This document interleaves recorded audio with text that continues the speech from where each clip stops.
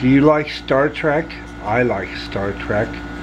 Um, I love these particular covers uh, of the Star Trek Gold Key series, as well as other books from the Gold Key now that they're defunct.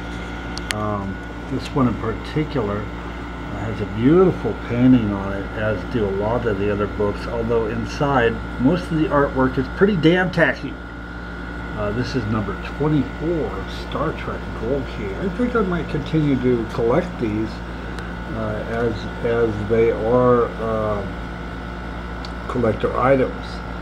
Uh, and I saw a few there at the uh, comic book shop when I picked them up. It had a, uh, a little sticker on the outside, but I thought it was on the inside, so I didn't bother with it. But I did pick up this one, and I and I realized that the stickers were on the outside after I touched it.